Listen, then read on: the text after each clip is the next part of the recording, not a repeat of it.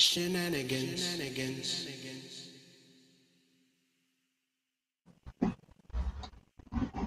Hey everyone, welcome to Truth Lies Shenanigans. I go by the name Nio Nyx, and I'd like to thank you all for joining us. If this is your first time, you picked a great show to check us out. For today's show, no hot topics today. I do have a quick fire question for the hosts, but the majority of shows for today is dedicated to our incredible guest, a civil rights icon, the youngest member of the Little Rock Nine, Carlotta Walls Lanier will be joining the show telling her chilling story of integration in the Deep South. We'll be sharing your comments and taking your questions. And with all we've had going on in the last four years, it will be an amazing thing to hear the thoughts and feelings of a true leader against racial injustice. And of course, make sure you stick around to the end for our game show where we'll test out our hosts' knowledge on Black history. So make sure you share this live feed with your friends. I'm certain they'll appreciate it. Now, before we get into it, let me introduce you to my wonderful co hosts, our professor, writer, editor, journalist out of Washington, D.C., Miss Lizzie Enders. What's up? What's up, everyone? Happy Sunday, Fun Day. I'm so happy to have all of you here to join us for this special moment in history where we are listening and hearing from a living legend. So sit back and enjoy and learn a little something. Learn a little something. Yep. and our very own rock star with the amazing band Fallen Machine coming to you from Sudbury, Ontario, Mr. Rob B. Rock. What's up? What's up? Hey, everyone. Uh, yeah, like Liz was saying, this is just an amazing show to be joining us for. It's uh, it's not every day that you get to spend some time with a living historical icon. It's uh, I'm really looking forward to this conversation today. And streaming from Atlanta, Georgia, a model, actor, college student, and the show's infusion of youth and vigor, Miss Gianni Storm. Hello, hello, everybody. um, I'm very honored to actually be here. I kept telling myself that um, throughout the week that I was very excited for Miss Lanier to be joining us. So I just can't wait to get into her story. I've been reading all about her. And for the people that I've you know, asked to join in. I hope that you guys ask some really good questions. All right. All right, so if you've never been to TLS Truth Lies Shenanigans before, let me tell you a bit about us. Our hosts and our guests share their truths and opinions with you, call out those lies, and point out any ridiculous shenanigans going on. And on our show, we always try to have some fun with shenanigans of our own. Our show streams live just about everywhere, but you can find us quickly on YouTube. Just go to tlsshow.com or search at TLS Live Show across all major social media platforms. Also, make sure you subscribe to the audio replay of the podcast on iTunes or anywhere you listen to podcasts. Now, before we get to our honored guest, I do have a quick fire question for you guys.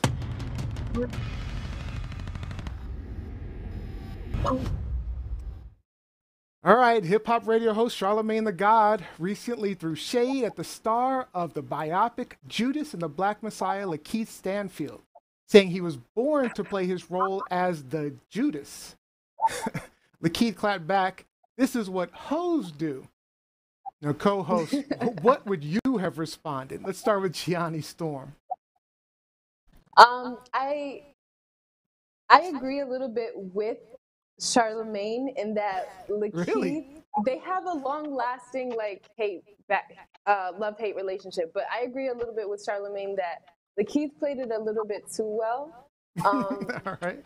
That he, Robbie Rock? He, yeah. uh, you know, I watched the articles, I watched the videos. I still don't understand the nonsense going on. Just quit throwing shade and enjoy your mutual success. All right, Lizzie Enders. Agreed. The donkey of the day is still out there hee hawing, I see. This is ridiculous. Absolutely ridiculous. Like, how do you act too well? That's what actors do. That's how they get awards. That's how they get Oscars. Come on, Charlotte, y'all. Come on, y'all. Charlemagne the God is just, I mean, he's he does this a lot though. He does this to a lot of people. He's just he can be rude sometimes. So he's doing his thing, and I, I might have done the same thing Lakeith did, to be honest. So but for those that need a little, go ahead, go ahead, Lizzie, go ahead. You're gonna say. No, something? I was just gonna you know, a little background in terms of who Charlemagne the God is really. Like, I am kind of suspect of someone his own shadiness, lest we forget that he was accused of rape twice. Really? That he admitted to, he admitted to um, getting the young lady drunk, putting Spanish fly in her drink, and Really? then having sex with Really? Yes, he admitted. Wow. Yeah. So I've never liked Charlemagne the God. the background. How dare you come out and try to dog someone or throw shade at someone for their acting chops? Like he was there to act a part in a movie and he did it well. Yeah. So I, I, I don't know what else to say. And for those that might need a little background, Charlemagne the God hosts a radio morning show, The Breakfast Club, and Lakeith Stanfield can be seen on TV show Atlanta and the hit film Get Out. Now, as Gianni said, they apparently have history.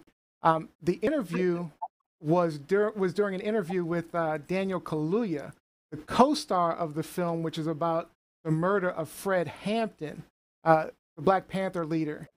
So now I want to point out Lakeith ultimately did delete that post, but he later posted a diss track titled Automatic with an image of Charlemagne with big lips, hat, and a minstrel character.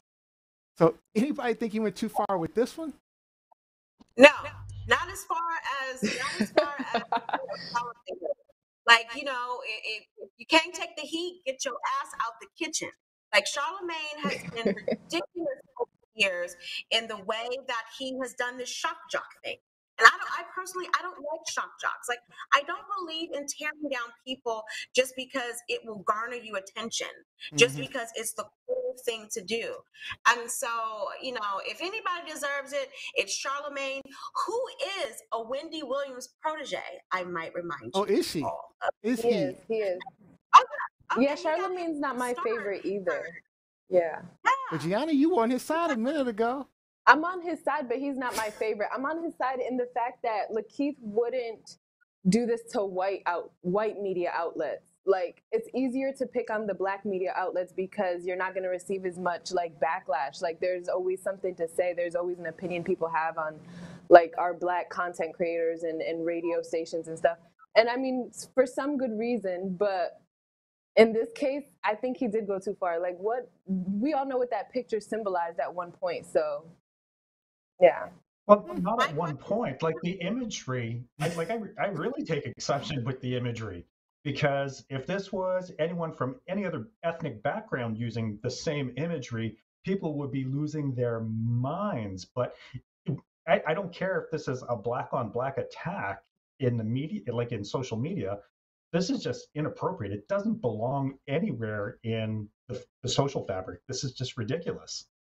Yeah. So my again, my Agreed. my point: don't start none, won't be none. And my question would be: I'm with Lizzie on this one. Savage. So if Charlotte were to have Hopkins, who won an Oscar for playing, you know, a killer, a serial killer, a deranged serial- serial killer in Silence of the Lambs, would he suggest that he played that role too well? Would he suggest that mm, maybe Anthony Hopkins really is Hannibal Lecter? Like, come on. He, he specifically targets black folks and tries to get a reaction out of them. So yeah, I, I, I I'm not Yeah. I'm not here for Charlemagne's I can agree. I'm not here for Charlemagne's ears at all. I think it's disgusting Yeah. because again, if you haven't seen Judas and the Black Messiah, um, a lot of good acting It is a lot of good acting. off the board, and Mhm. it tells a very important story. Um, and so never once did I, you know, while I was watching the movie, what was I like, oh well, I don't know about Lakeith. He playing this a little bit too well over there. Like what? Kaluuya No. made a good point. He, he Kaluuya when he, he responded because he wasn't trying to have any of it from uh, from Charlemagne. He said that um, it was great because Lakeith Stanfield made the sacrifice to play someone like a Judas. You know, because it does have an effect on his uh, you know how people view him as not just an actor but as a person when you play a role like that. yeah.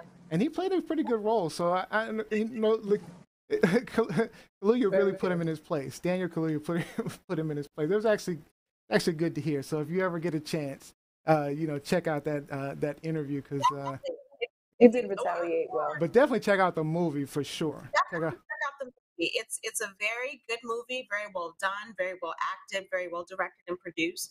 And again, as we are in Black History Month, it's a part of our history. Yep. It's a part of our history. So it's a very important story. Yep. All right, now we've gotten the shenanigans out the way. It's time to get some truth behind the history with our guest spotlight on Black history.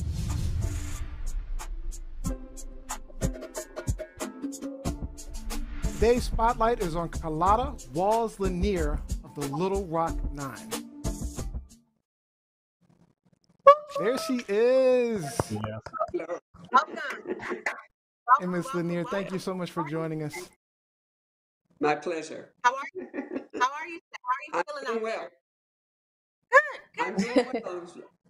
Woke up to a beautiful scene this morning. Uh, snow on, Nice. on all the tree, tree leaves and bushes. It was actually gorgeous. But it's Good. about 50 degrees now, so So for those of you who don't know, Carlotta is in Denver, Colorado. Ah, So um, correct.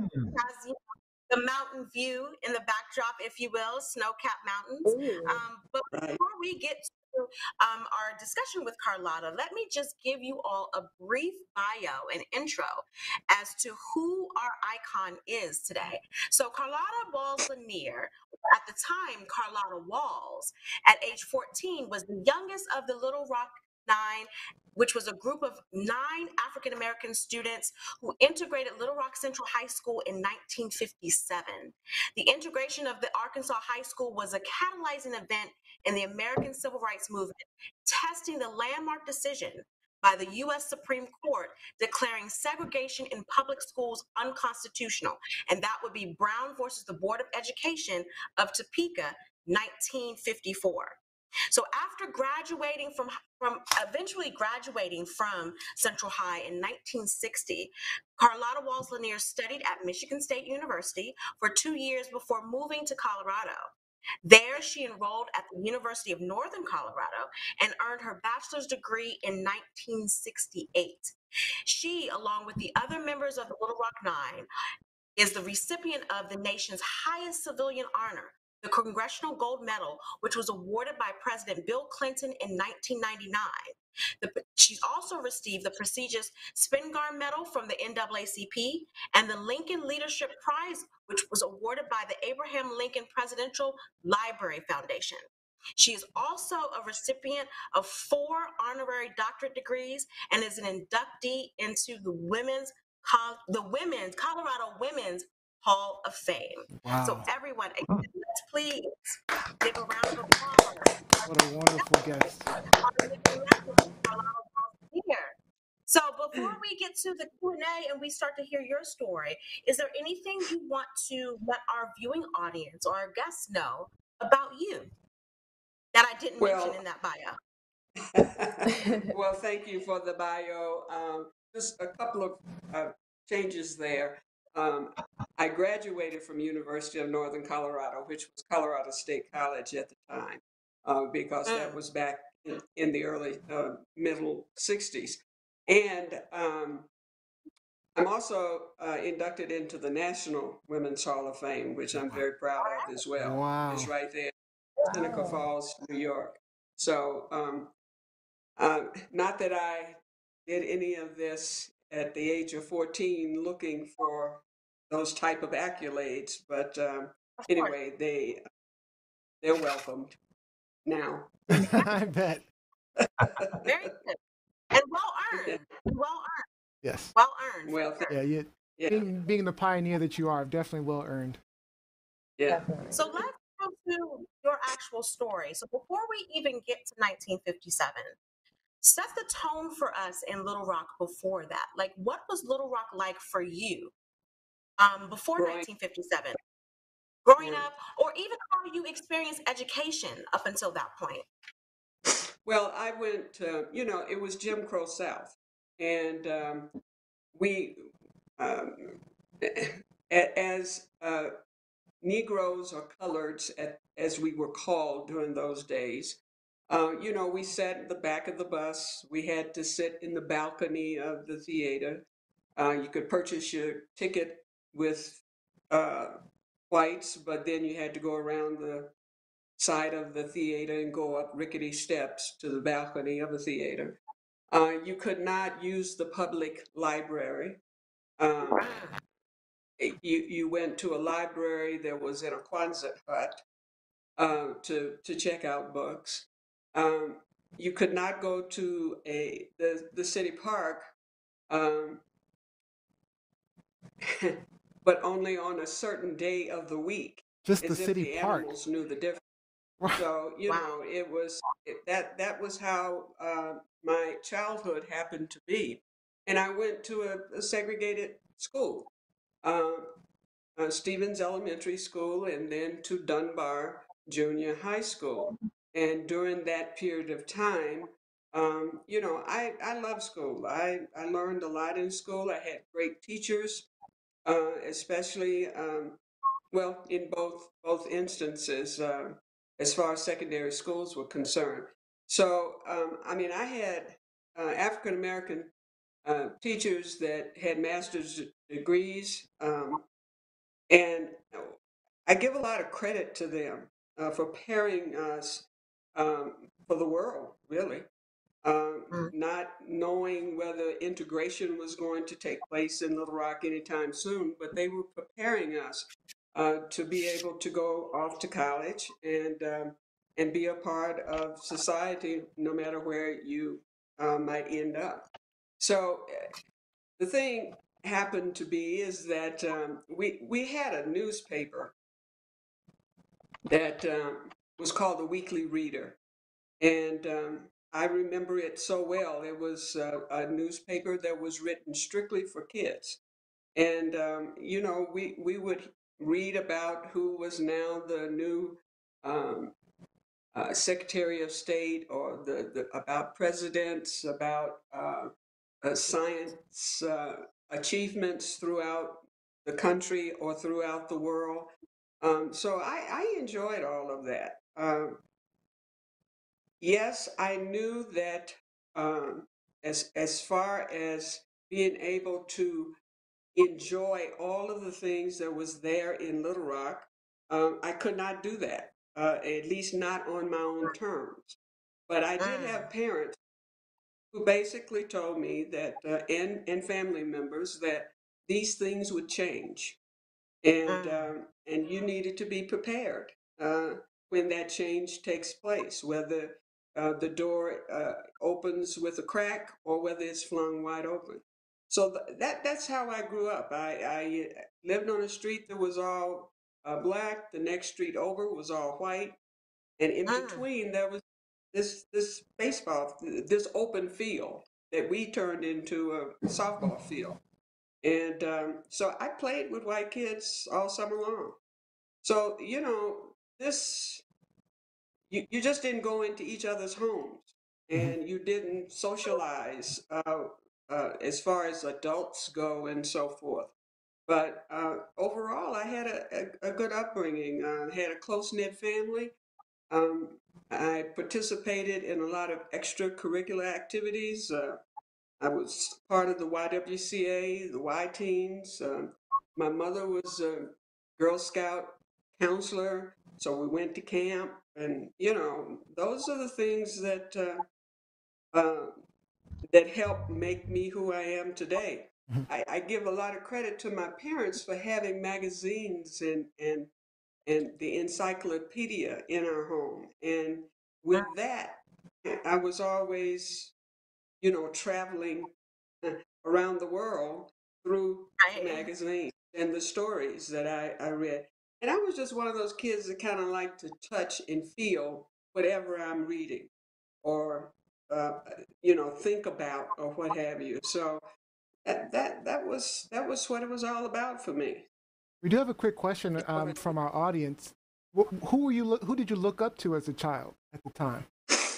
I looked This up from Ernest to, Cooper. Um, yeah, I it, uh, remember some family members I looked up to. Um, um, my grandfathers played a big role in my life. Um, we had what we called Negro History Week, Hmm. so I was always thinking about yes, it was just a week, and I and and and we dressed up, uh, you know, to to be that person or what have you. Um, and actually, that's where I got that interest in wanting to be a doctor because of what I had learned about Charles Drew, and and and and I was, and and the only female, it was two females that that struck me um, as far as history goes. One was Madame Curie.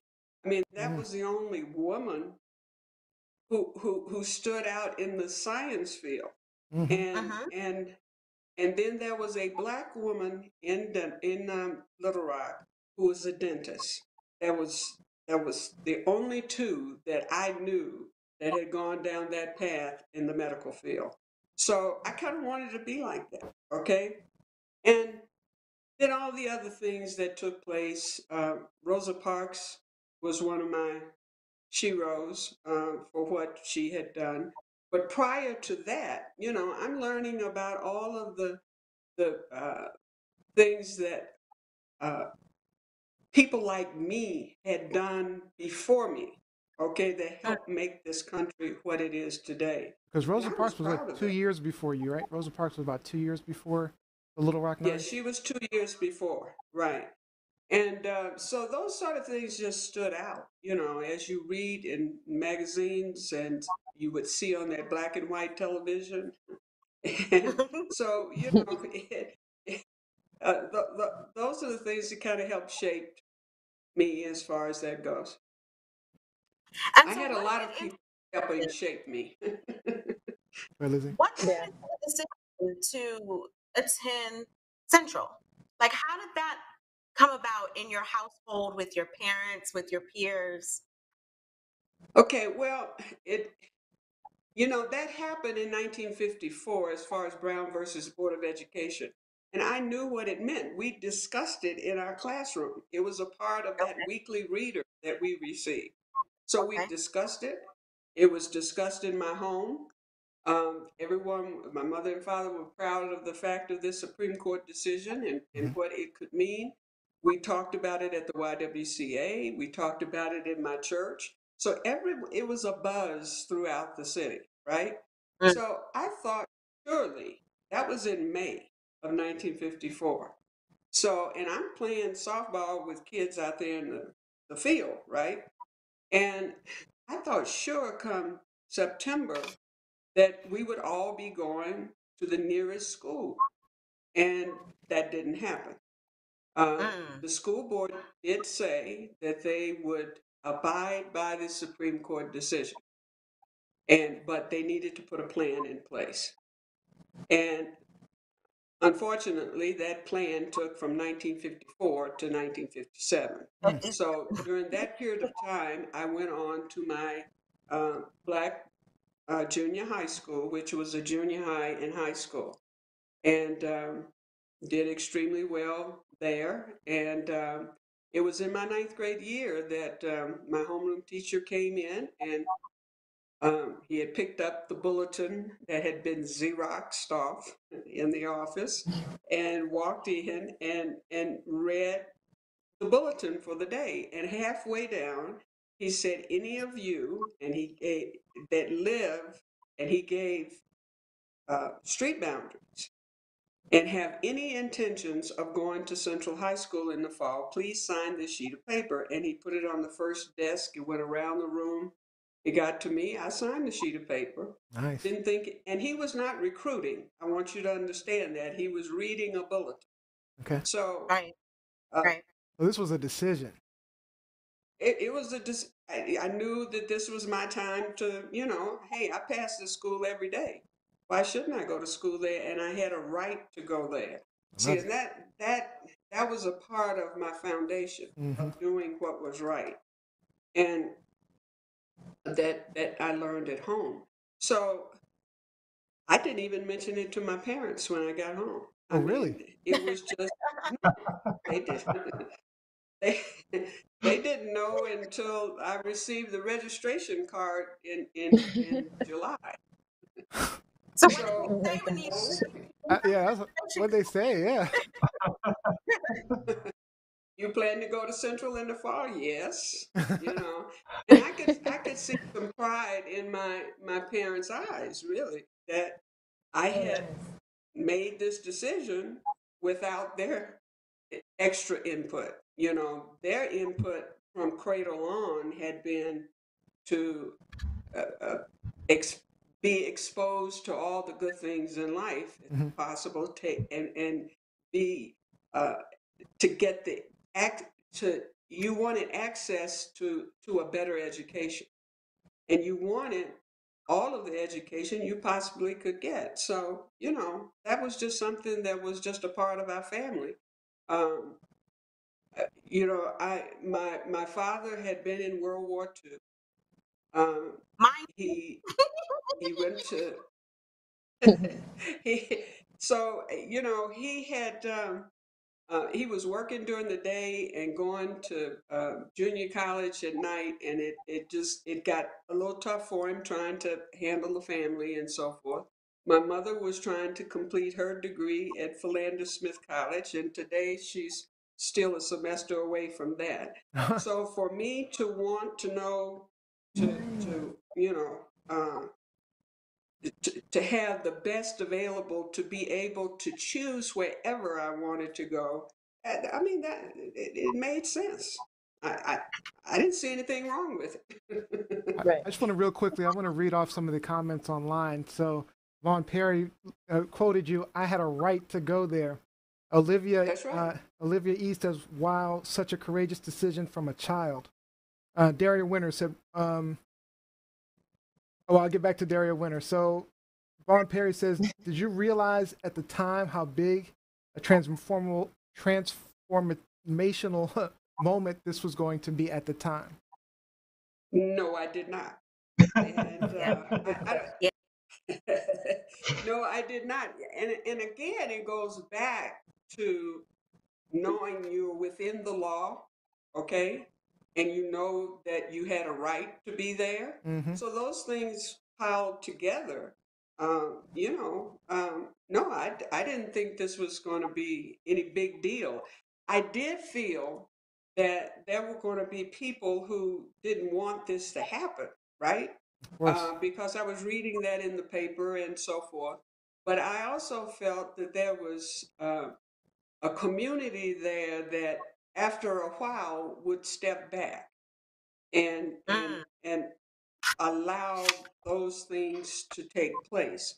They would voice their opinion in a negative way, but in the long run, this being the capital of the state of Arkansas, um, it, it, it had a different vibe, if you understand what I'm saying. And see, there are pictures there. Yes, I saw those sort of things, but I thought it was it would all go away uh, after a couple of weeks once they got to to uh, know us. So, um, you know, I was not looking for anyone um, to love me.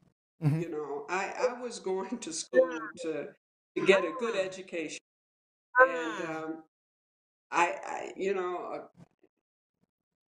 some thought that you know sitting next to a white person was going to just send a buzz through me. I, I don't get a buzz sitting next to a white person. All I wanted was the same thing they were getting. So So, let's September 3rd. September 3rd, 1957. That was the day before the nine. Right. And we'll introduce the nine in a moment, but the day before your first attempt to get into Central High School. Did you get any that night? Like what was going on in the Walls household on September 3rd? Well, it was excitement. I was going to to my new high school. Okay, Mm. it was not so much the new white high school. It was my new high school, and it, during those days, high school was tenth, eleventh, and twelfth. So you know, I was in the tenth grade, and um, I had this this new dress. My mother was a great seamstress, and however, her uncle, who was my great uncle, had stopped by the house a week or so before and said he wanted me to have a store bought dress. Okay, so my mother and I, dress. Designer dress. right. So uh, you know, we went downtown and we picked up this dress. Uh, you know, we I picked out this dress, and that is the dress that I wore. That, in fact, two first days, to be honest with you, and that is the dress that you now see, that you now uh, is is there at the National uh, Museum of African American History and Culture. And um, I don't know why my mother was um, so had such foresight to to keep that dress. I found it, you know, probably uh, uh, 30 years later in her cedar chest. And uh, Wow. and I said, "Wow, you you s- you kept this?" And she said, "Yes, I did." You know, so Wow. you can take it. Wow. So and that's that's History. what happened. That's what mamas So, do. um, Mamas, mamas know no no special events and special things. They they keep that historical stuff. They know. They do. They That's know true. you're absolutely correct. So um, that that's how that piece took place. But the night before, I was just excited about going to school the next day. Um, my mother dropped me off at the drop off point, and I walked that block. I saw the other kids at the other end of the block, and there were a number of ministers there. It was a mixed group of ministers. And um, it's funny, I, I expected more than the nine that showed up that day. I, I will say that much. Uh, because 39 of us had sat before the, the superintendent of schools and heard the litany of things that we could and could not do. So Mm. um, once I got There's- there, There's Yeah. that dress. so that so 30 of them dropped out. Wow. Oh, That's so crazy. it, it wasn't initially supposed to be Wow. just the nine.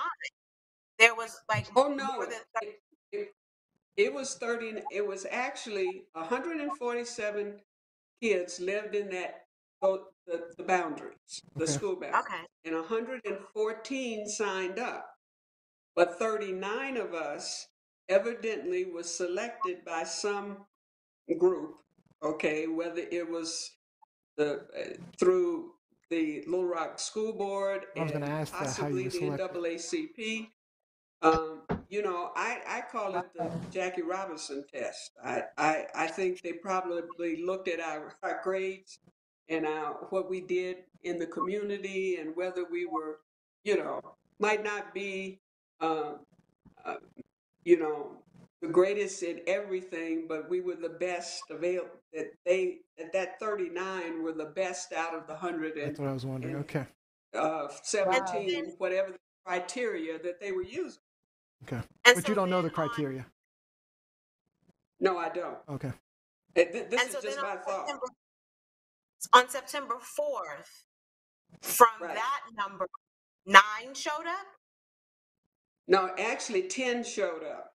Okay. It was 10 of us there on the first day. Not all together, but it was 10 that showed up. And the 10th one never came back. okay. Wow. Uh, Well, let's as, just, as, as, That's so Yeah. interesting. let's just introduce the audience to the nine, like who the nine are. sure. So we have All right. Ernest Green. And so we're talking about, you know, who they were as teenagers in 1957. So Ernest Green, Elizabeth Eckford, Right. Mhm. Jefferson Thomas, Terrence. Roberts, Minnie Mhm. Jean Brown, Gloria Mhm. Ray, Thelma Right. Mothershed. Now help me with Mhm. Melba's last name because you know my I, I speak with a Spanish accent sometimes, so I want to say Pattillo, but I gather it's probably not pronounced that way. It, it's Pattillo. Pattillo. Pattillo. Pattillo That's what I is how, figured. she, yeah, is how she pronounced it. Yes. So, Me- so Melba Pattillo, and then obviously, you know, Carlotta Walls. So Right. take us to take us to first day, September fourth. That that September 4th, as I said, I was dropped off. My mother dropped me off. She she didn't have any anxiety about it, and neither did I. I was excited. And uh, well, this was not the day right there, but anyway, uh, we we got to the corner, and um, we, there was a prayer given by the the ministers that that was with us, uh, and we then walked across the street. I saw the the uh, National Guard that was there. That the governor had said the night before on television that he was calling them out to protect the citizens of Little Rock, and Not uh, you. because The citizens of Little Rock. so th- that's the day right there. And um, that I, I was a surely considered myself a citizen. My father paid taxes just like everyone else. So right. that didn't that didn't bother me. You know, hearing that, um, I thought that the National Guard was there to, uh, you know, protect us if there was going to be any problems. And uh, we get there, and this uh, commanding officer came up and pretty much spoke to the one of the white ministers and said, "Take these kids and, and take them back home." And the Ernie made the comment, "You're telling us we can't go to the school and uh, we can't go up this sidewalk." And again, he spoke to the white person and and said, they are not allowed to go into the school per the governor's uh, orders. So we turned around and um, we were uh, escorted back home by with the with by the ministers actually. So in that So that's moment, what did you- started the whole process. And in that moment, did you know? Okay, this is about to be a thing. This is about to Well, be a I, thing. you know, yeah, I saw the mob across the street. I heard the name calling, but none of that bothered me. Uh, I knew that there were going to be people, you know, eh, that that were going to act that way. But I also thought that the Oh my God. that, uh, yeah, that that was September 23rd. But anyway, um, I, I knew that this was going to happen. Uh, I mean that the, the the mob was going to. It it it started growing. The mob was not Right. like that that you just showed, okay? Uh, but there was a, a large group of people there, probably a good hundred, okay? And uh, but I- it grew from day wa- uh, from that day forward is what happened.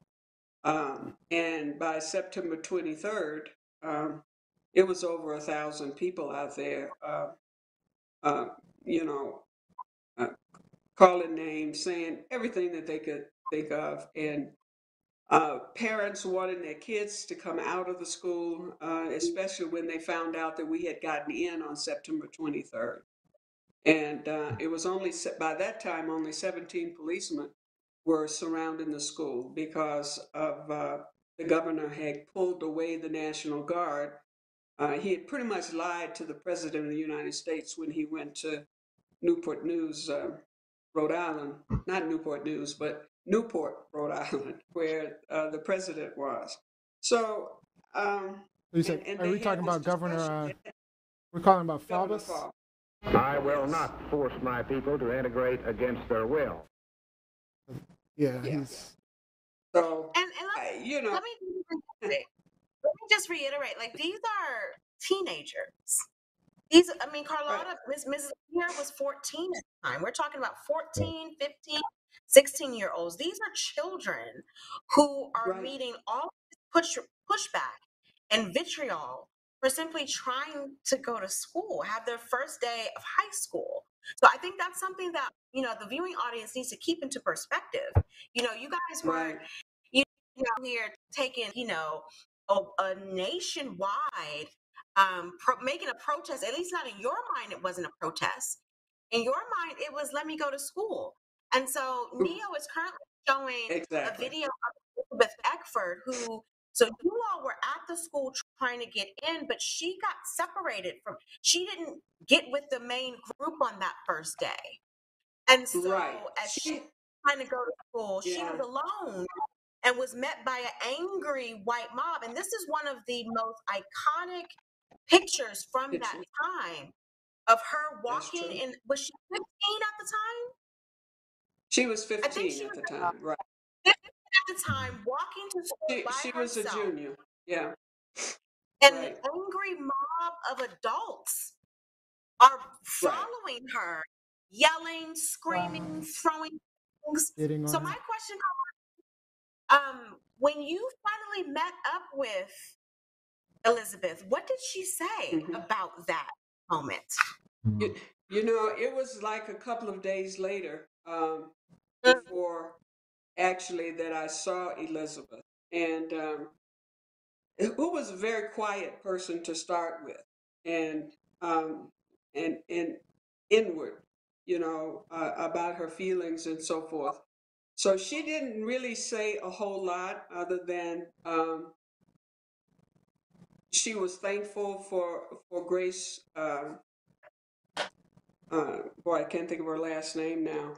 That helped her to get on the bus uh, to go home because that crowd was standing around her.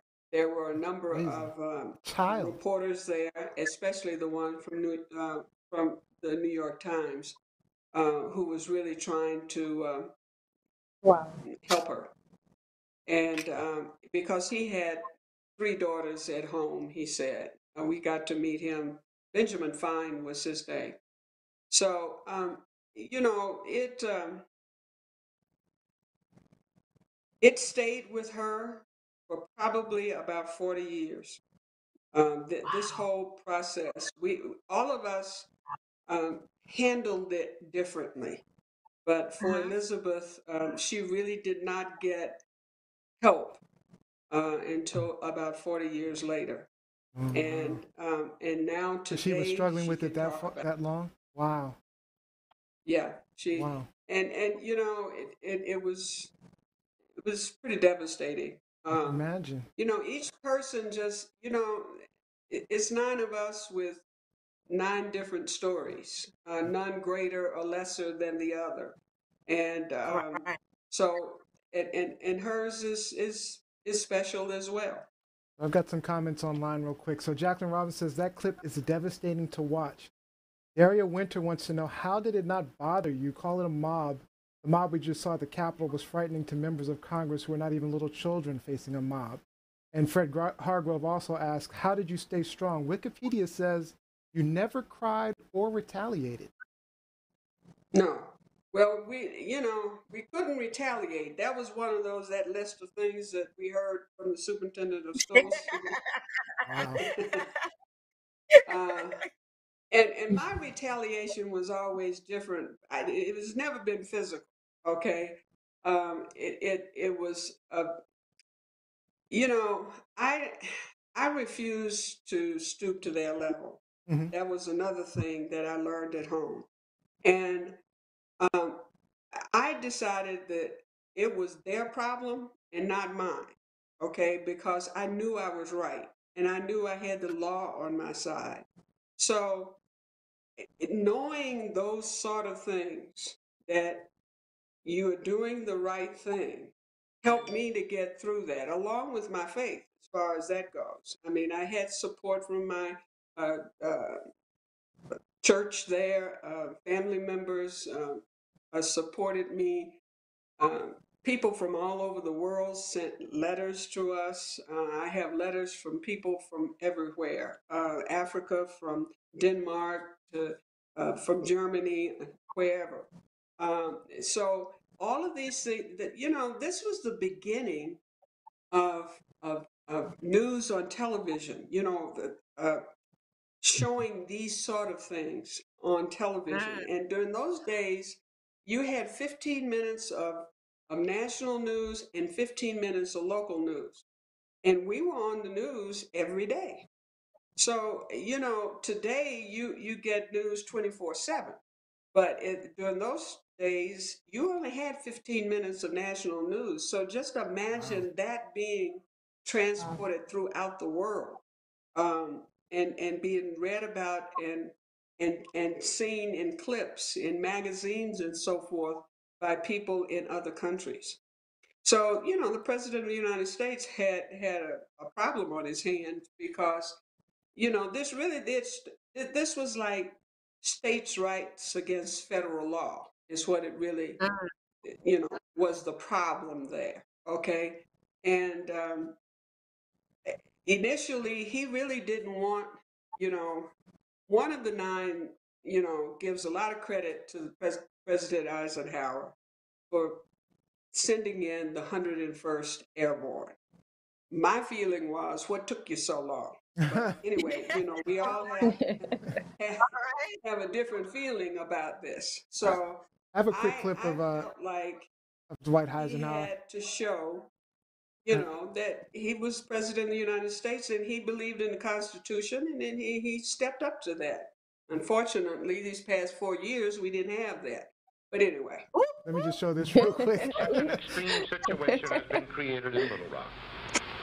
This challenge must be met, and with such measures as will preserve to the people as a whole their lawfully protected rights in a climate permitting their free and fair exercise. In the present case, the troops are there pursuant to law solely for the purpose of preventing interference with the orders of the court. Such an extreme situation Yeah. And so you're saying he took too long.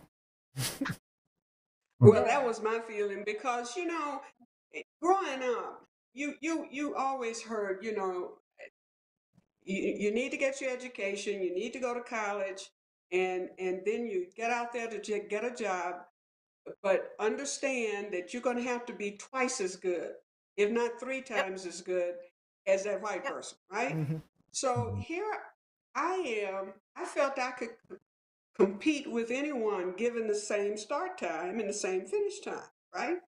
Well, we couldn't go to school. September 4th, we were turned around. September 23rd, when we tried to get in, we were in there for about two hours and then had to be rushed out. And then finally, September 25th. So, all during that time, litigation was taking place in the federal courts. And we weren't in school, we weren't in class. So, it was only that last, and I'm thinking we're getting further and further behind. And that was bothering me because I really did feel that, um, you know, I could compete if if if everything was a level playing field. But it, you know, it was not level because I was not in school. So So um, I- really, really quick. But once I got in there, I found out, you know, I, I was I, I could do. Vaughn Perry, one of our um, viewers, had a question. So while this was going on, what was the response from the Black community Okay. in Little Rock? It's a good question. It's a good question. Um, generally speaking, uh, supportive, but there was a, a group of of uh, various black people who would sidle up to one of us and say, "Don't you think you need to go back to your black high school? That's you know to go go to Horace Mann because it's causing havoc for us. We we're having a hard time with our jobs." um, you know, my wife lost her job, or, um, you know, it, it was very difficult uh, for all, um, including the parents of the nine. I mean, uh, my father lost his job every time they'd find out that um, he was the father of one of those going to Central. Um, but the the church was very supportive. Um, and a num and you know that was dissension within families too.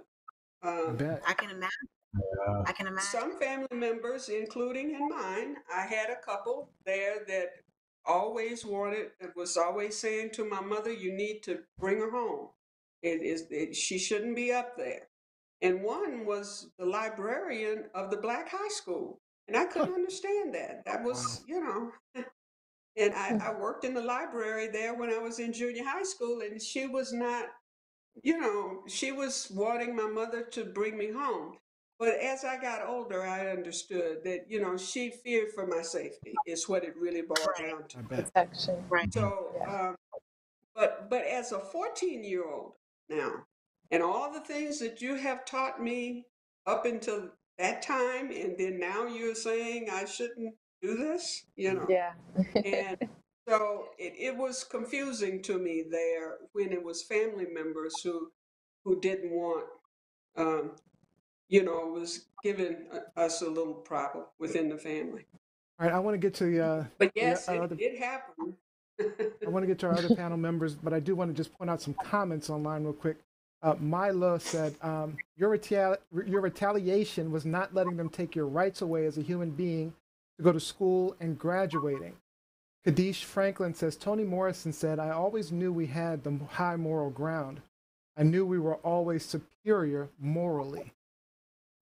So let me just we say. Carlotta, let me just say, Carlotta, uh, Kadesh is from Little Rock. Um, he's Oh. from Little Rock. Yes, he's from Little Rock. So he has a Oh. special interest in your appearance Nice. here. All right, Robbie Rock. I want to get to one of your questions, Robbie. Two part question. Um, how has your life experience altered your perception of the events of Little Rock uh, as you went through it? And in your opinion, how has American society changed or stayed the same? I just want to point out Robbie Rock is from Canada. So Robbie Different Rock is from perspective. Canada. Yes. Yes. So yes, you the the, the uh, Ontario curriculum didn't have a whole lot to present about you, so this was a wonderful week to learn a lot about your story, and this has just been Well, a wonderful. wonderful experience. Yes. Um, in fact, the first documentary that was done uh, on, on me was was from someone in Canada, uh, oh wow. which was in, Nice. Yeah. Canada. Canada does again. do something right. right. but uh, let's see. Uh, um, the question again. I'm Repeat the question, Robbie. So, sorry, how your life experience has altered your perception of the events that took place in Little Rock, and if you feel that American society has progressed or stayed the same. You mean as she got older? Okay. Well, it, there's been a lot of progress. I'm gonna at least uh, answer that uh, for you. And unfortunately, we have not uh, stayed vigilant enough um, to um, for these things not to happen again because they are happening all over again. And um, as Americans, we need to to uh, realize that uh, these gifts that we have uh, accomplished and and things that we have done over the years to make things better for us and for all people are are, are gradually being uh, taken away, and we need to stand up to those sort of things, um, and and make sure that we hold on to them. Uh, a lot of times, uh, the various laws that have been passed, true enough, have not been complete in, for, for everyone. Uh, but you don't just throw that law out. You Mhm. you you know you don't throw the baby out with the bathwater. Bathwater. You, you, you know you, you you make it a little bit better and uh, you you amend these laws and so forth so um, because it takes too long to even get to that place i mean it, it take voters rights laws i mean Mm. eh, we need that and now we're having these suppression laws uh, in, in in voting uh, people wanting to change that law so we need to stand up to those sort of things and and and recognize that your vote does count. And so I, I just see those, you know, I see a lot of progress. I really do. I mean, Yeah. uh, since 1954 to today, um, we, we have gained a great deal in this country. And, but, but people need to understand that we all have to give to make this country what it is today. Mhm. And unfortunately, there's a, a, a, a group that is growing that needs to be re educated. These are ignorant people. They, they do not know the history of this country, period. Mm. And they need to know it. I get Ah, frustrated with okay. seeing the American flags thrown around because it was the same thing back in your day where American flags were being used by people who were, uh, you know, I don't want to say white supremacists, but I- I don't know what you refer to them as. In, in your day, obviously, that's what we refer to them now. But Right. American flag, Well, you know, starts to look bad to you. Well, the, you know, I, I saw that Confederate flag as a kid along with the American flag, okay, our flag. And yes, here you have a picture here that this group of people are using the American flag. And at that time, I think it was 48 stars on the flag. So, you know, um, this is, um, it's, it's very unfortunate that there's there's this group um, and see they were Ku Klux Klan as I was growing up. That Mhm, the that's Ku Klux Klan, right? who we you know Yep. white referred to. supremacy was the word uh, words that were used in the Ku Klux Klan. KKK, yep. Nowadays, there's all these other groups that are out there, but they're all the same as far as I'm concerned. Yeah. Um, you know, someone had made the comment, um, I think it was President Clinton, that, you know, which took me back to thoughts that we had uh, among black people about crabs in a bucket, you know? Yeah. And his statement was that, you know, there are people who always uh, want to bring the person ahead of ahead of him down. Just got They're always wanting to pull them down. In the black community, we always called it crabs in a bucket. You Mhm. know, the Yep, I crabs know. I heard, always. heard it Yeah. often. So you know th- that that's that is what is happening because they do think that we have too much. Well, they can have the same if they work at it and and accept other people uh, as a human being. We're all human beings, and we we should all enjoy um, the liberties of this country. So I have a quick question about before we get to you know the other panels. Just go, going back to being in Central. Once you guys got in, and there still was a lot of pushback from your fellow students and classmates. Right. What about the teachers? How did the The teachers? teacher- Yeah, how did the teachers treat you or respond to you?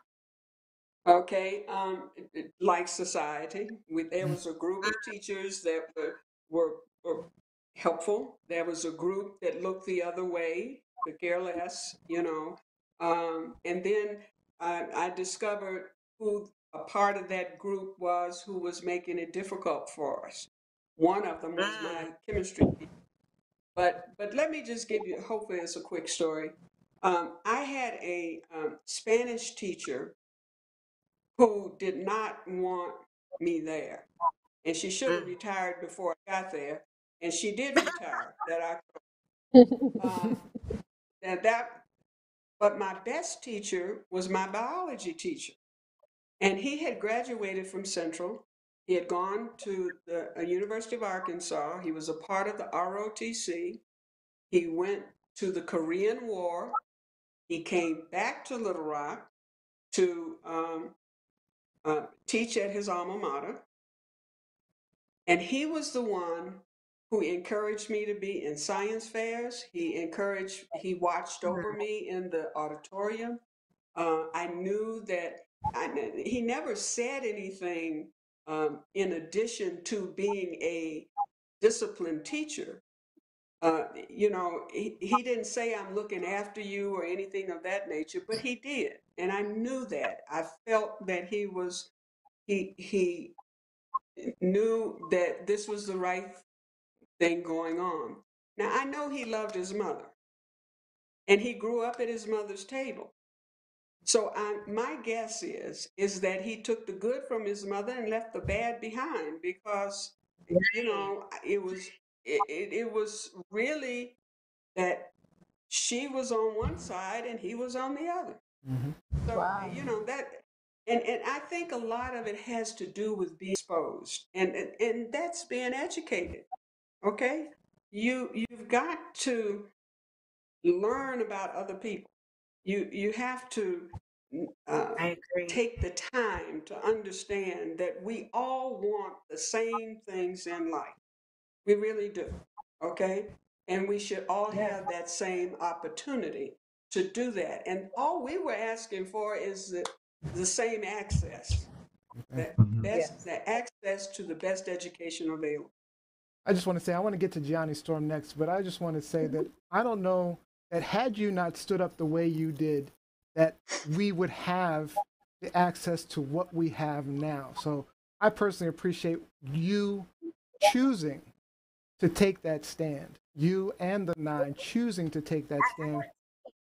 At, At 14, shooting at 14. I mean, Yeah. I, at 14, I was just, I was thinking about basketball and, and, and you know, I was thinking about purses. I was thinking about Gucci and MCM bags at 14. So I don't think I would. Gianni, you know what you, Gianni, what were you thinking about at 14? That wasn't too long ago. What were you thinking about at 14? At 14, at 14, I had just moved from like two high schools, so I was thinking about settling down and just finding new friends and sticking with them. All right, so what's your Right. question, Gianni? Um, Ms. LaNier, my question is, given all of the racial uproar, such as the um, Capitol riots and George Floyd, what are your I know it's a lot, but what is your kind of take Yeah. on the progression that we've come to, like where we're at now? Well, I, I, you know, it hurt me so much to see what was taking place with George Floyd. Um, that that did take place. Um, it, it it was the the next level Emmett Till as far as I was concerned. That's where Wow. it took me. Wow. Okay. And All and right. and prior to that was the Trayvon Martin. Um, Yeah. uh, Mhm. That that really i was thinking that the kids i was speaking to then was going to take Trayvon Martin to be their Emmett Till, okay? But then George Floyd is really the one, okay? Because there it was being uh, televised, the whole nine yards. But what was what warmed my heart was the fact that throughout the world demonstrations took place. It was not just here. Demonstrations took place in other parts of this this world, and it was the, the demonstrations here in the United States was was diverse. So that said to me that that there is this humanity that we need to think about. We need to uphold and and stand up against these sort of things that are taking place. Now, I think Black Lives Matter pretty much came out of the Trayvon Martin situation. I think, and Mhm. and with that, um, the um, uh, you know it has grown, and but I did have flashbacks on January sixth. I'm gonna be Mm. honest with you, I really did. I bet. So, Wow. and to see those once the the um, National Guard was there on the floor of the Capitol, I mean, bivouacked inside the Capitol, they were bivouacked on my campus Wow. uh, at, at Little Rock Central High School. So I'm seeing some of the same sort of things that are taking place. And what was really disheartening is to see the flags being used the way they were being used and the Yes. Confederate flag in the Capitol. I mean, that that did That it for me. That did it for me. And then for so these that um, it it it- you know uh, legislators not to do what is right. I don't know. Eh, R I G H T does not mean anything to them. Yeah. There's no, No, I moral, agree with no you about ethic. when I saw that image of the protester um, very brazenly, you know, carrying the Confederate flag through the Capitol. And the Capitol, again, I'm in I'm in Washington, DC, folks.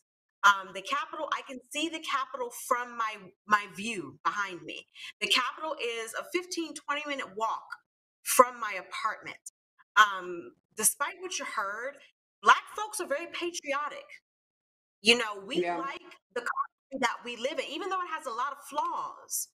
This is my country. This is where I was born. This is where I live. Right.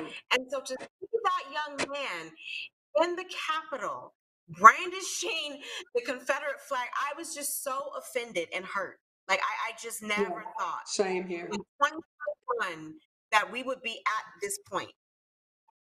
Well, I feel the Yeah. same way. I, I'm noticing something on my computer here. My battery is getting low, so I'm just, I want to just forewarn you. I might have to end up Wrapping up. Okay. to get back on. So let me just wrap up with just going to senior year. February 1960. You, you you're I read in your book that you said at that time things had died down a little bit.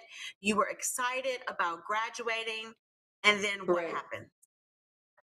Unfortunately, on February 9th, um, around 10 o'clock, um, my home was bombed uh, with my mother and my two sisters there. Uh, my father, uh, as I said before, had problems getting work, so he was working at his, his father's uh, uh, cafe. Um, and it unfortunately my neighbor who lived up the street was uh, after two weeks of investigation they decided that he was uh, a part of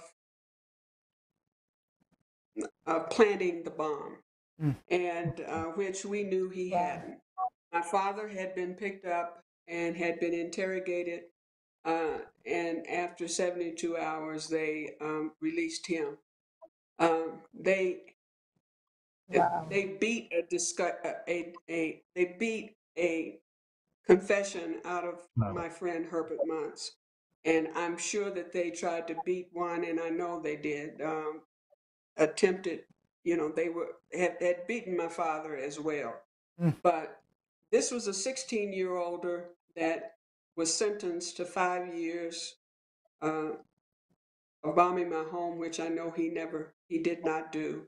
Oh my Uh, my father was never um, Wow.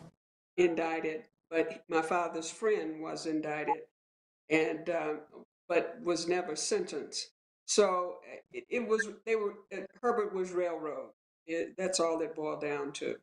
Uh, later, um, probably about four or five years ago, uh, I was told um, a neighbor did uh, see this car with these two white men in it who had put the bomb there. Who and so you know, and he told his father, okay, and his father told him, "We can't get involved in this." And this was a black neighbor. Mm. So you know, um, Wow. so many different people suffered in different ways uh, because of the times. Okay, Very true. and I cannot hold uh, anyone um, uh, pretty much responsible, other than the fact that if those two can sleep at night, if they're still living, um, well, okay. I, I, you know, all I needed to do was to go back to school that next day because I needed to let this, whoever it was, know that you have not won. I mean, those that thoughts as a I'm still 14 year old, here. amazing. So now So- I think she's 17 now, but even still, as a teenager, that that's Yeah. very um, noble of you. It's very courageous. It's it's you know I think of myself Well- again at 17. You know I probably would have been in the streets trying to fight somebody. Like I know. it just. But it- that was because of but Elizabeth, I needed that diploma, and that's Yeah. why I was going back. And you know, I needed this diploma to to vindicate and and and uh, all the time that I had spent there. Okay, I needed that to to. Uh, and, and this too is at the National um, Museum of African American History and Culture that I gave to them. Uh, and it means a lot to me because uh, it was a commitment I made in the 10th, from the 10th grade. Uh, and I graduated, and I am the only female of the Little Rock Nine that participated in graduation exercise. oh so wow, I I feel didn't good know about that. I really do. Wow. So, uh, So you're the that- only one who received the that was diploma my- of the Little Rock Nine. I mean, only female, only female. I'm the only female that participated in graduation exercise. Oh, I see. Oh no, did we No, lose her? actually, like walk on stage. I think we did lose her. Well, let's give her a chance to Oh, come back. Maybe she'll still come back. Let's Give it back, but let's see some of the comments that we, if we can. Yeah, um, Let me get to from- those. Oh, you want me to read? I thought you were reading something. I'm Um, sorry, I was trying to Um, resolve an issue. Go ahead. So no, so so yeah, we kind of butchered her name earlier, but you know, our good friend Me Lee, she says, "Thank you, Carlotta, for your sacrifice and everything you have done and continue to do. Your strength and perseverance to be treated the same as everyone has made an impact on all of us. Great show, everyone, especially Carlotta and Elizabeth. Oh, thank you. Um, She's back. um, And my back. Okay, I'm sorry. No, don't worry. No problem. We're happy to have you back. So, Carlotta, I don't know if you remember our friend from college, Me Lee, but I was just John Lee's sister. So, I was just reading a comment from her. And so, she was thanking you for your perseverance and dedication and how it's been inspiring. So, Well, I, you, well, thank you. Lee. Um, um, I guess I do remember the, the brother sister combo there at University of they Colorado. were, um, the brother sister combo. they were, they're like the Wonder Twins. Even though they weren't twins, they were like the Wonder Twins. Right.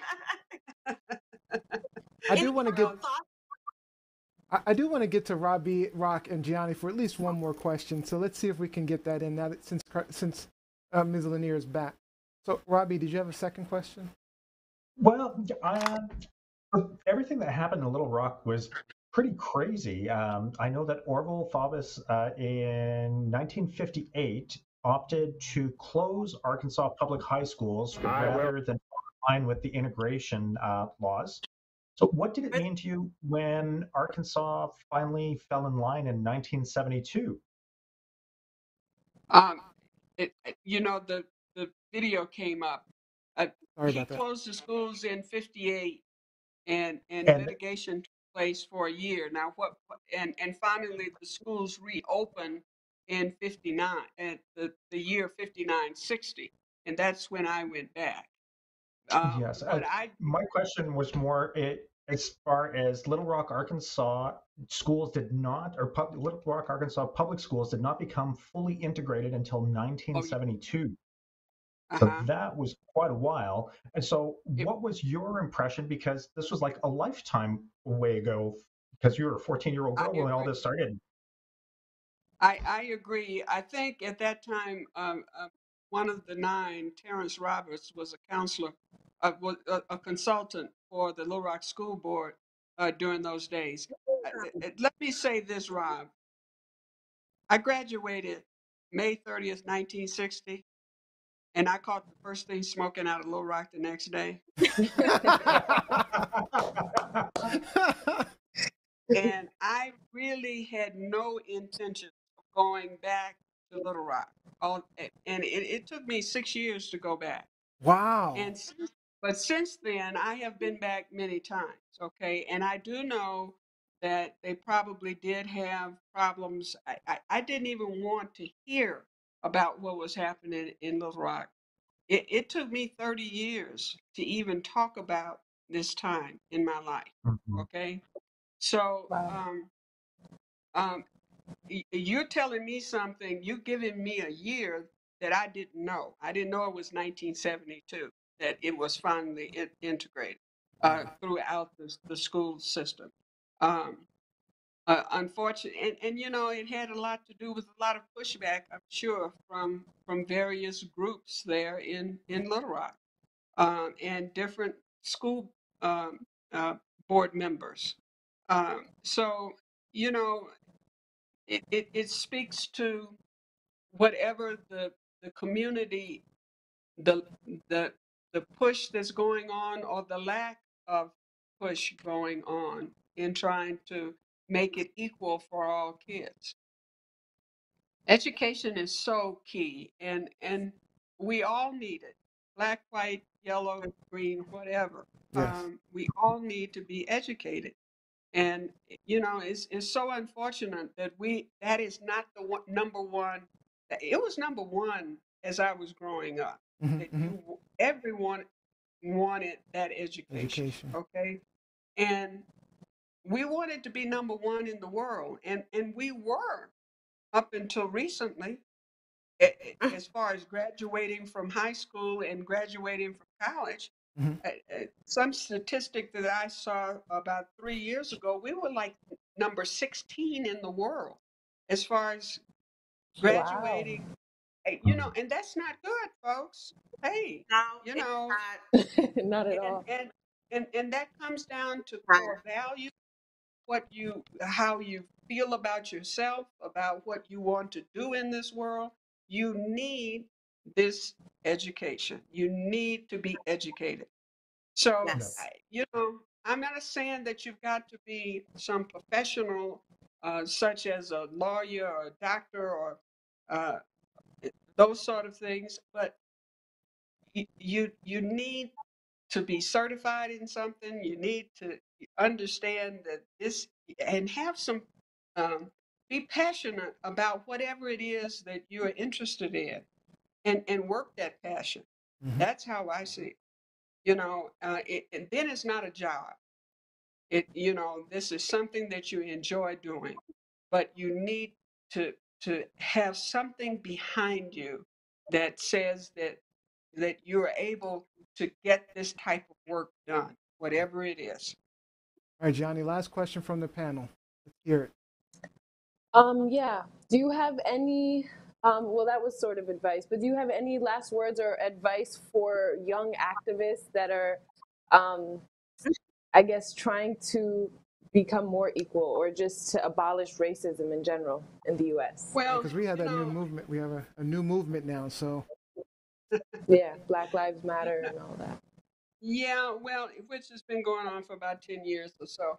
You know, I, I still say that you really need to know who you are and, and whose you are know, and, and be centered. Once you, you have have that, you can do almost anything you want to in this world today. Um, and, and be and and be find your passion. I, I I still say that. You, you need to find your passion and work it, okay, to your advantage. Um, it, and, and, and, and be involved in things that you find important. Look at those Okay. kids in, in Florida at Parkland. Gun control Mm. is the big thing, right? And they are expressing their opinion. And young Right. people need to understand that they have a voice. And Mhm. with that voice, change can take place. That voice into action and, and change will take place. And you know, I think it was Frederick Douglass who said, without struggle, there's no progress. So, folks, just you, you have to realize you still have to struggle and work towards something better. So before you go, I mean, I, I'm going to give you a minute for some last words, but I want to go through these comments that are online. There's a ton of comments thanking you. So uh, we have D'Angelo, uh, well, we have uh, Valerie Warren Bird, a true hero, she calls you. Kadish, uh, I'm sorry, they're just jumping around. Uh, so many comments coming up. Um, Valerie Warren Bird says, Love the show. Uh, Vaughn Perry says, She was amazing. Thank you for inviting her. Uh, Reuben Gorin is asking to have a part two to have you back. Um, uh, Joy Birdsong, so much to take away from this episode. Um, Randy Carr says, Yes, we seem to have surrounded ourselves with stuff that makes our lives so easy that we come, become lazy in the process. Daria Winter says, We must be centered, must know what it is to be centered. Absolutely, that is the recommendation I give to my students daily. Find your passion. Um, Jose Holt says, uh, Thank you so much for sharing. Um, Paulette Bertrand said, Please come back. Totally impressed. Um, so you are a shero. That's coming from Katie Revive Harley. That's Katie did. a shero. That All right now. I love it. I love it. Jen, Jen Huggins said, You are a hero, so brave. Thank you. Randy Carr says, Aw. What this fine lady has, uh, was, well, I, sorry, fine lady has seen so much in her life uh, that we could never complain about today.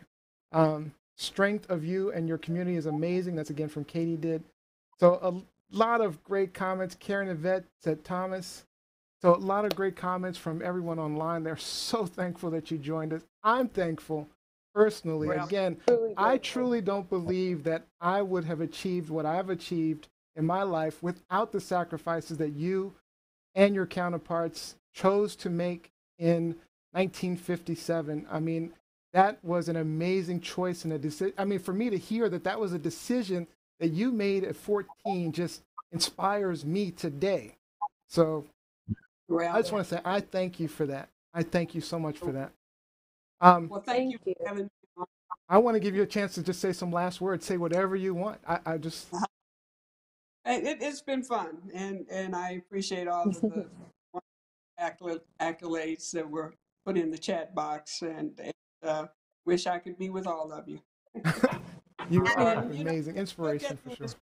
Let's let's do what we need to do, and we need to, you know, uh, be supportive of our uh, administration and do what we need to do out there to make um, to to catch up with the uh, with all the things that have been taken away from us here recently. So um, we Right. need to redefine this country. All right, and we're Yeah. gonna do that. Thank you again. I'm Thank you inspired so by you, and we were gonna. I, I just want to say we we created this show um, because we wanted to make the changes you're talking about. Um, we wanted to, you know, get the word out, get this information. Your stories, things like your stories, is what we wanted to get the truth to the people. So I truly appreciate. Thank you again for joining us. And I You're do. welcome. I'd love to have you back. I would love to have you back. So thank, Thank you so much. you. Thank All right. you so much. You guys Thank you. take care. Thank you, Miss Sorry LaNier. Thank you so much. Love you, Laura. Thank No you so problem. much. Bye-bye. Wow. Wow. All I Wow. can say is wow. That Yeah. amazing, amazing, Wow. amazing, amazing. I don't even have I'm words for it. I am like, I'm with you. I'm with you. That that has impacted me. That that Crazy. has significantly impacted me. So I- I can't even just Thank to be able to speak to someone like her that. on. Oh no, Yeah. I, I appreciate it. Um, I appreciate the opportunity to bring her on. Um, for those of my friends who are watching, know that Carlotta and I go way back. Um, I first met Carlotta when I was an 18 year old freshman at the University of Colorado. But I also appreciate that we still have living legends with us who are able to tell their story. It's one thing to read about something in a history book or in an encyclopedia or something like that, but to have someone still be here, not only to physically tell their story, to but to make you aware that this didn't happen not too long ago.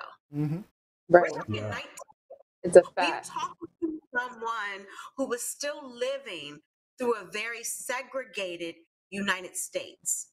And so I Especially I with everything going on- on now. I mean, everything we've got going on now, and to hear, you know, where it was even worse. I mean, and then what it took to get to even where we are now, and then to go backwards the way we did over the last four years. I mean, it's just amazing to me, just that story It, alone. it, it's been amazing to me the entire time that I've I've known Carlotta. Mhm. Um, and you know, we've we've talked about certain things about the past. She's counseled me on certain things. Um, we've we've laughed about certain things, but it, it, it's again one of those things I reflect on. Like I wish there were more people like her who are still here, who could come to us and encourage Mhm. us and inspire Yeah. us.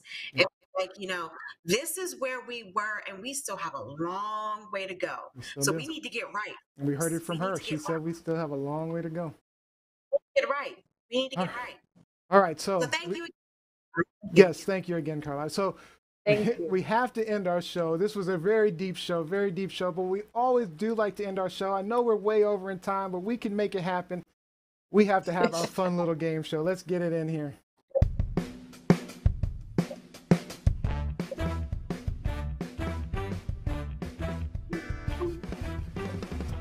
All right, we're going round robin style. I simply ask a question, and you'll have four multiple choice answers. This is going to be uh, Black History trivia. All right, get it right, you get a point. Now, this might be a runaway for Lizzie since she's like a, a basic expert. So Gianni and Robbie, Literally. I'm gonna give you a little help. She's gonna she's gonna complain Yeah. How about cheating. I need She's gonna complain about cheating. I'm gonna give you a little help. What? How you know she need help? Yeah, I don't need help. you guys can get a little extra time for audience to answer one question for you. Right. All right, are we ready? I'm starting with uh, I'm starting with Gianni Storm on this one because it's a kind of easy question. Let's see. What was the name of Dr. Martin Luther King's father's church? Not not Dr. his not Dr. King's church, his father's church. Was it the First Ebenezer Baptist, Atlanta Southern Baptist, Southern Church of the People, or Atlanta Tabernacle? I can't really see that text. I think it's C, Southern Church of the People. Southern Church of the People. Oh, I'm sorry to say that I am certain that is not the right answer. Let's see. I'm certain. Certain. that is incorrect. Did you see that text? I couldn't really see it. to That's why I'm reading it off. I'm reading it off for you. That's I why I got had you. to I got you go all covered. the way in. I got you covered. All right. Uh, but it was the Ebenezer Baptist Church. In his spare time, King rested, wrote, and preached at Ebenezer Baptist, a recently restored gym at 407 Auburn Avenue in Atlanta. All right. Our next question is going to be for Oh, Rob B. cool.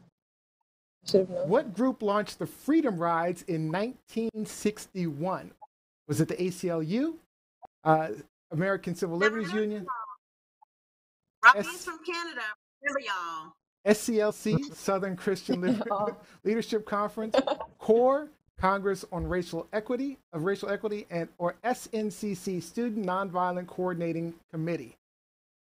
I'm going to take the multiple choice rule of thumb and take a C. C. All right, let's see what the answer is. That is correct. Yeah. Correct. Good job. Why did it work for him? Good job. All right, one point for Rob V. Good job, Rob V. Yes, Nio already thought that you would need some help right off the gate, so he ain't gonna, you know, Help you any- against you. Shoot, I need help Set against you. All right. At the time of historic bus incident, what was Rosa Parks' occupation? Was it a hospital orderly, don't know. I can't drugstore clerk, high school cafeteria worker, or department store seamstress? Do know Yeah, what that was I she? wear. I I'm reading it. I'm reading it right? for you. I got it. I'm reading it for you. But what, can you repeat? Can you repeat the um names of the? Okay. At the time of historic bus incident, what was Rosa Parks' occupation, Lizzie? Was it his, his hospital orderly, drugstore drugstore clerk? I don't know why I can't talk suddenly. A high school cafeteria worker or department store seamstress? Um, to be honest with you, I don't think I know this one. Uh, don't be looking Hospital online. Don't be cheating. You, you can't get help. Right. Good grief! My hands are here. I'm not looking online. Um, let's see. It. She seems like a seamstress to me. Hey, don't be giving answers away. Oh yeah, true. We're Gianni, against. We're, my brother we're I've got one point. We teamed up, Yanni. We teamed up. Um, Girls versus I'm guys. yeah, I, I want to go with D. You're gonna go with D, Teamstress. Yeah, yeah. Gianni's giving you help. For Look at clerk. that. That is correct. Like I said, you're the one who called her short. You're the one who said she might need help. Thank you, G. That's so funny. I should give Gianni the point. All right. SNCC member Stokely Carmichael was instrumental in forming the Lowndes, I think I'm saying that correctly, County Freedom Organization in Alabama. What was its symbol? A balance scale, the letters MLK, a Black Panther, or a raised fist? I can tell you what it wasn't. the in, uh, with Industry Freedom Organization as in. You should be like, you should tell Lizzie that she owes you an answer. I want to say A. A, the ba- a balance scale. Let's see if that's right. Wait, let me see. Oh. I hope. He said, wait, balance scale, letters MLK, a Black Panther, or raised fist? I know it's not a raised fist or a Black Panther. I think. Okay, so it's A. A, you're going with A? That is incorrect. Incorrect. It is a Black Panther. Huey P. Newton and Bobby judge Seale got permission to adapt the emblem for their Oakland-based Black Panther Party. All right. Okay, so Uh, Gianni, zero points for you. You you may not you're not gonna make it to the third round. All right. Who wrote this best-selling memoir? I know why the caged bird sings. This is for Rob B. Was it Maya Angelou, Coretta Scott King, Fannie Lou Hamer, or Rosa Parks? The best-selling Oh. memoir. I know why the caged bird sings. Come on, Rob. Come on, Rob. Coretta Scott King. Coretta Scott King. All right, let's check it. That is incorrect. Incorrect, Robbie. Incorrect. It is from Maya Oh Maya yeah, I know that one. Robbie, I have three copies of it here, so I can send I was going to say, I figured Lizzie has read a few of it a few times. I can The book Maya explores her early years spent in St. Louis and what? Stamps, Arkansas. He's gonna give me some random question. Let's see. Hopefully, It's it's a the tough one. Yeah. Oh my God. You Oh, get the easiest on. one of all. You- Oh my God. This is Clay. What was Muhammad Ali's original name? Was it Leviticus Lewis, Marcellus Moore, Cassius Clay, or Aaron Brown? You say Cassius Clay? All right, let's try. this is like the easiest question. That is correct. Correct. What was Maya Angelou? Yeah, Maya All right. Angelou was So, a Rob B, you got one chance to beat her. At least you can, you have a chance to tie. Let's see. I'm sorry, Gianni, Ah. you're out. You're out. In 1960, four African American college students staged a sit-in that helped integrate this store's lunch counter. Was it Woolworth, W.T. Grant, G. G.C. Murphy, S.S. Kres? I don't know what that is. Oh, Lord. name of the store. Yep, the name of the store. I remember the event. Vaughn Perry said. Oh, by the way, Vaughn Perry says his mama called him Cassius. Muhammad Ali. yeah, I'm gonna take a C again. Really? You, sh- I, I, I- I, I you can you can you can check Maybe with the A. audience. I give you a chance to check with Maybe the A. audience. Yeah, okay, I, I could with t- taking the C. Oh, okay, all Mm. right. I'm trying to help you out. Clearly, that's not working. Give me the Muhammad Ali question. that is incorrect, Rob B. That means that Lizzie wins the game. Good job, Lizzie. Good job.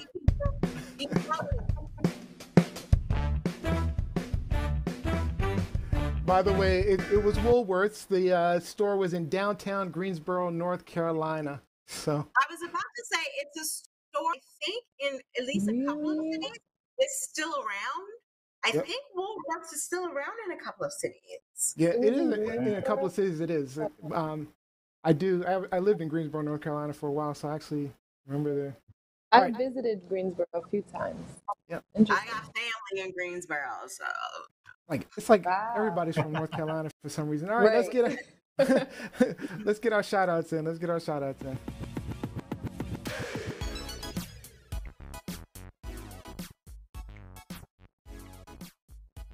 All right, let's start off with Gianni Storm. Shout out Gianni Storm.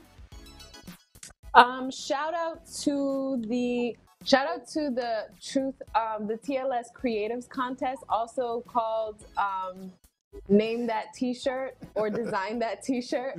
Um, this is the last week to enter, so enter. You don't even at this point just have a creative idea or a creative um, uh, photograph or something to submit. The link will be in the bio on all of our social media. All right, Robbie Rock. Shout out. Uh, shout out to all of the audience members that joined us this evening and in the participation. It was great to see so many of you actively engaged in what was going on.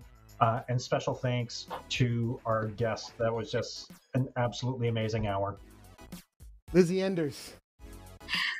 shout out to again, um, just piggybacking off of Rob. Shout out to Carlotta Walls LaNier. Shout out to her daughter, my that's Brooke LaNier, and to her son Whitney LaNier. Like shout out to everybody. You know, this has been such a great experience and a learning experience even for me today. Just consuming all of our information and the stories. So let's keep it moving, folks. Let let's move forward with diversity and equality in this country. All right, so I was, before I read my before I say my shout out, I want to read some of the comments. I saw some comments. So, uh, a bunch of people were playing the game. It looks like uh, Jacqueline Robinson, Ron Perry, uh, Jeanette Brown. Everybody was playing. They got some right answers too. Look at that. Uh, uh, by the way, uh, it says Karen Yvette Tom says there's a museum in Greensboro that's worth visiting after COVID's over, and then uh, the Woolworth Company is now a Foot Locker. Says Mike Wolf. yeah. That's interesting.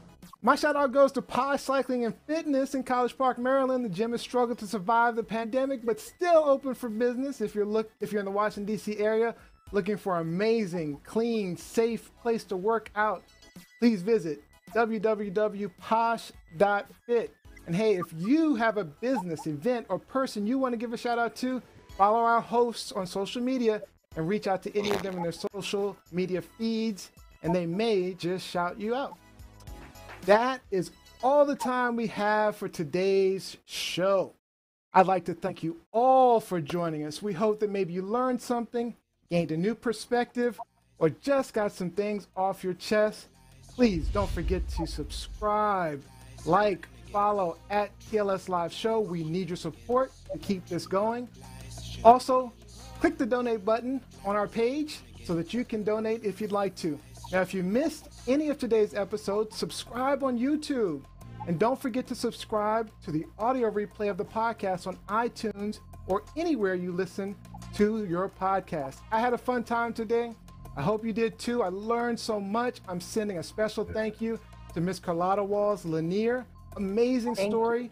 We are truly honored you chose to share that story with us. Our Thank next live show is on Wednesday, February 24th, 8 p.m. Eastern Time, 5 p.m. Pacific. We'll have Akil Abdullah, who was the first African American male to qualify for the Summer Olympics in the sport of rowing, and the first African American rower to win the coveted Diamond Sculls race. So, should be another amazing show. And our winner for today's show was Miss Lizzie Enders. So, Lizzie Enders gives our final thought for the day. My final thought, just a reminder to everyone out there, all of our viewers, all of our listeners, this is the final week of Black History Month. Despite what you heard, despite what you think you know, there's still more to learn. So do some research, do some investigating, and figure out what's gone on with Black history in this country. Remember, Carter G. Woodson wrote, The miseducation of the Negro for a reason. And that Yes. reason was we weren't learning all about Black history. So go out, folks, and learn something. This was an amazing good. show again, and I thank all that joined us. We had a packed show today on all the platforms, actually. A ton of people were watching. So I want to thank you guys for joining us. Thank you, Rob Ravi. Thank you, Gianni. Thank you, Lizzie. And we will see you next time.